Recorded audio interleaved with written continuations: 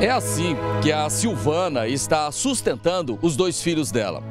É, eles estão se alimentando é, com salsicha e farinha. Isso porque eles ganharam. A Silvana vive aqui nessa casa com dois filhos. O mais velho, o menino que tem aí três anos de idade, e a menina Raila, de dois anos. A Silvana nos procurou porque ela precisa de dois tipos de ajuda. Primeiro, ela precisa de emprego, ela é diarista, ela precisa de trabalho. E também ela precisa de ajuda com linhas e materiais para que ela possa fazer tapetes e assim vender. Na verdade, a Silvana quer trabalhar. A Silvana mora aqui, ela inclusive está aqui com as duas crianças na porta. Ela mora aqui no Jardim Olímpico, que fica bem próximo ao Parque Flamboyant aqui na rua X59, bem na esquina com a X53. A Silvana é do estado do Pará. Ela é de uma cidade chamada Santa Isabel do Pará. Em setembro do ano passado, ela veio para Goiás. Isso porque, cerca de dois meses antes, o marido dela veio e depois ligou para ela para que ela vendessem as coisas lá no estado do Pará e viesse com as crianças aqui para Goiás. Foi assim que ela fez. Só que quando ela chegou aqui, no endereço que o marido tinha fornecido para ela, ela encontrou algumas coisas dentro da casa, mas o marido dela simplesmente sumiu, não atendeu mais o telefone é, e ela não teve mais contato com ele. Só que apesar, Silvana, de você não ter localizado o seu marido, seu marido ter te abandonado, como é que você fez quando você chegou com as crianças aqui em Goiânia? Quando eu, fi, eu cheguei, aí eu comecei a procurar diárias também, né? Aí eu tinha trago uns barbantes, foi que eu comecei a confeccionar os tapetes e saía vendendo de porta em porta, vendia 20 reais cada um e ao mesmo tempo já aproveitava para pedir emprego para as pessoas diária, né? Muitas das vezes, quando a pessoa também não queria o tapete, eu pedia algum alimento para minhas crianças, né? Porque muitas das vezes eu já não tinha mais nada para eles, né? Na verdade, você não sabe o que aconteceu com seu marido. Não, não sei o que aconteceu, porque quando eu cheguei, ele me passou a localização, quando eu cheguei no endereço, encontrei a casa vazia, fui entrar em contato, em ligação, o telefone só dava desligado e o WhatsApp eu já estava bloqueada. A Silvana é uma mulher guerreira. Ela ficou todo esse tempo é, nessa região, do Parque Santa Cruz, em Goiânia ela fazendo faxina, fazendo diárias em casas de família, ela fazendo tapetes para vender e foi assim que ela foi tentando alimentar essas duas crianças. Só que as coisas foram complicando, porque o material que ela usava para fazer os tapetes, o material acabou. E ela acabou ficando sem condições de pagar o aluguel. A Silvana, ela foi despejada, ela foi expulsa da casa onde ela morava com essas duas crianças do Parque Santa Cruz, em Goiânia o dono da casa chegou e colocou vocês para fora. Foi. Todo dia, quando ele me via, ele ia dizer que eu tinha que sair, desocupar o barracão dele, porque eu tava só ocupando, já que eu não tinha dinheiro para pagar. Aí eu ainda fiquei, saía tarde, chegava, saía muito cedinho, bem no escurinho, e chegava tarde para ele não me ver, para ele não me... E que se escondia dele? Eu me escondia dele, para ele não me botar para fora com as minhas crianças, mas teve um dia que não teve jeito. Já tava quatro meses, estou lá devendo quatro meses de aluguel, água e luz.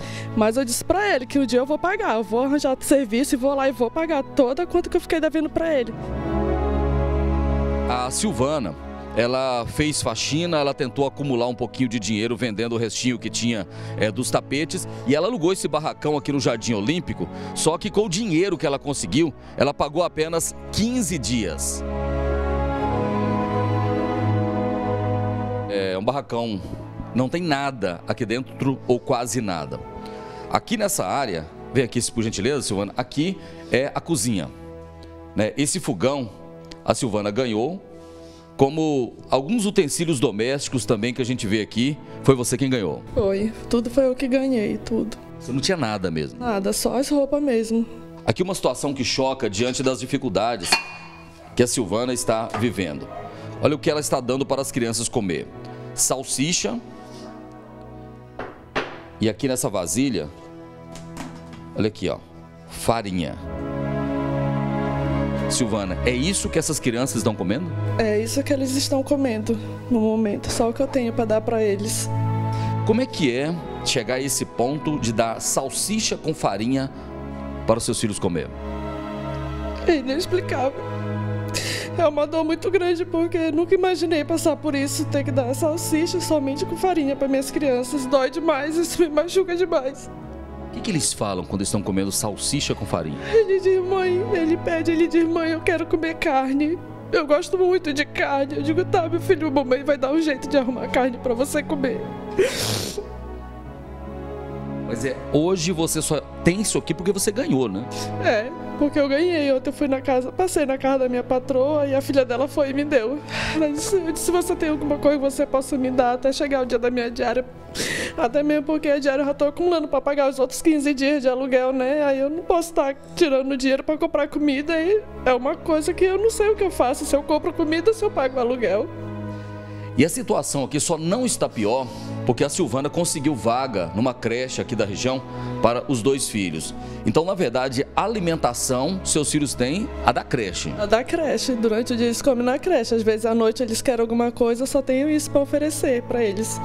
Às vezes eu fico brincando com eles no parquinho até eles ficarem bem cansadinhos para chegar em casa e não pedirem comida, querer logo dormir. Restam apenas três salsichas. Isso aqui dá para quanto tempo, Silvana? Eu divido para eles almoçar e jantar. Três salsichas, é, eles vão ter que almoçar e jantar? Eles vão ter que almoçar e jantar, essas três salsichas. Você? Eu, às vezes, eu como só um pouquinho de farinha e tomo água. Farinha com água? É. Eu como ela assim seca e depois bebo água em cima. Só para aguentar, porque minha prioridade é eles comer. Mas já teve situação de você fazer isso? Almoçar só farinha com água? Sim, várias vezes.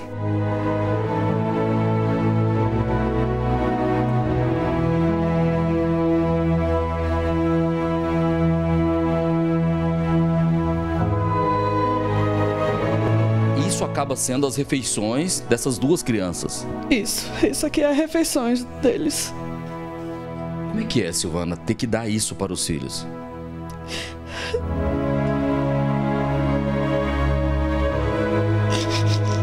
Dói demais. É isso para meus filhos, assim. Eles não poder comer uma comidinha melhor, um arroz, um feijão, uma carne que nem eles pedem, uma verdura. É me magoa muito, sabe? Mas eu agradeço a Deus pelo pouco que ainda tem para eles comerem. Olha aqui, gente, ela tem o fogão, fogão já bem usado, né? Que ela ganhou numa casa que ela fez faxina, mas ela não tem o botijão de gás. Ou seja, mesmo se ela ganhasse é, outros alimentos, né? Você não teria como preparar esses alimentos? Não, não teria como preparar para eles no momento. Só se eu comprar carvão, né? Mas carvão é até caro também. Aí às vezes eu deixo de comprar o carvão para comprar sim, porque rende mais. O que, que você estava comendo ali? É salsicha. Salsicha. E, e também farinha. Salsicha e farinha? Uhum. Você gosta o que? De carne? Sim. O que mais que você gosta? Feijão. Tem feijão aqui? Não. Não tem? Não tem. Rafael, uma criança inocente, é, não sabe né, é, o que, que você está se passando, não sabe por que das dificuldades. É, tem apenas três anos de idade, a Raila tem dois. É, elas não têm noção do que é isso aqui. É, não tem noção do que é a dificuldade, não tem noção é, da real situação, né, Silvana? É, eles não têm noção, os bichinhos, apenas às vezes eles pedem, eu tento enganar eles, distrair para eles não lembrar do que eles me pediram, às vezes pede fruta, às vezes pede banana. Eu tento, vou distraindo, bora brincar, bora fazer isso para ver se eles esquecem.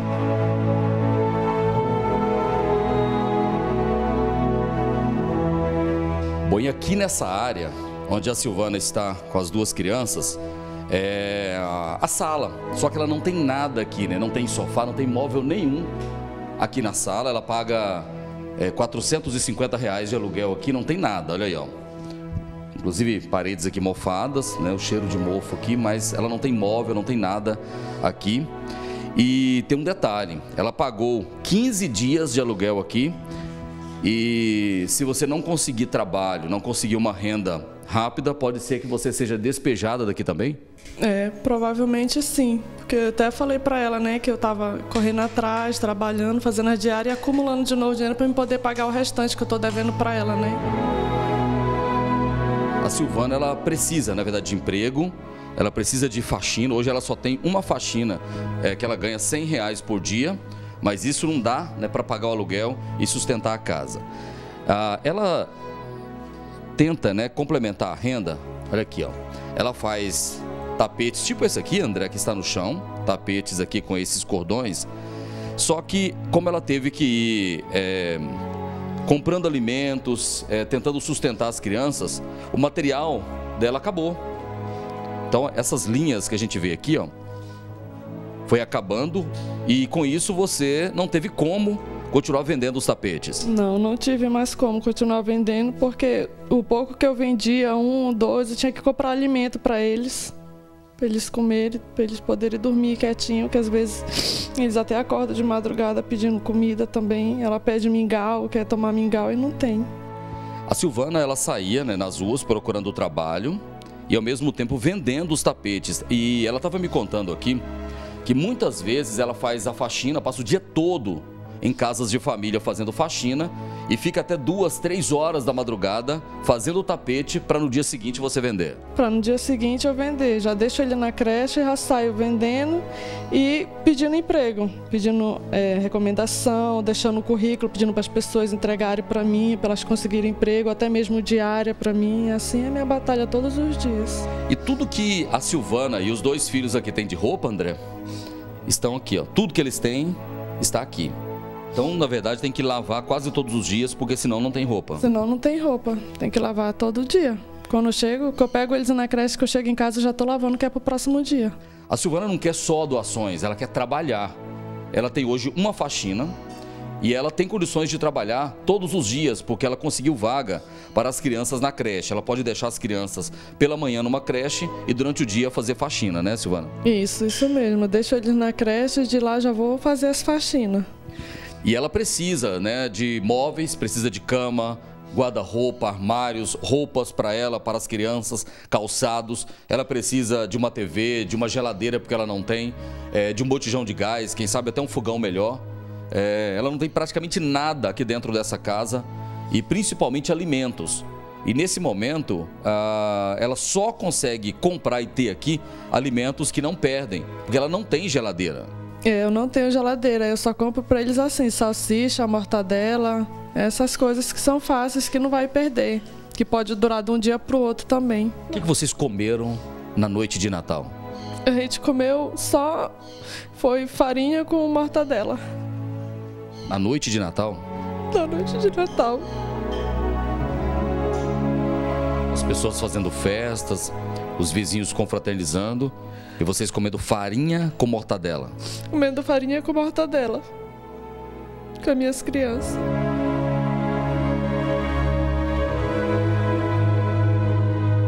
Nunca pensei em passar por isso na minha vida. Nunca, nunca, nunca. Principalmente com as minhas crianças que não entendem de nada. Delas me pedirem algo e eu não tenho nada para oferecer para elas. Você acredita em Deus? Muito. Acredito muito em Deus, sei que Ele não vai me desamparar. O que, que você conversa com Deus quando você está sozinha aqui com seus filhos? Eu pergunto, digo, Senhor, por que, que eu estou passando por isso com as minhas crianças? Mas eu sei que é uma aprovação e que o Senhor vai mudar a minha história. Se você pode, né? Eu queria até que você viesse aqui fazer uma visita para Silvana, para os dois filhos dela, o José Rafael de 3 anos, a Raila de 2 essa família mora aqui na rua X59, esquina com a X53, área 2, lote 1, no Jardim Olímpico. Fica próximo ao Céu das Artes do Parque Flamboyant, aqui em Aparecida de Goiânia. E eu tenho certeza que juntos nós podemos ver essa mulher e essas crianças voltar a sorrir. Acredita nisso? Acredito. Acredito muito em Deus. E Deus vai mudar a minha história e dos meus filhos também. Eu faço o pedido para que as pessoas que estão nos vendo possam te ajudar. Eu peço a todos vocês que Deus toque no coração de vocês, que possam me ajudar arrumando essas faxinas para mim, um emprego, que eu possa dar algo melhor para meus filhos comer. É tudo que eu peço.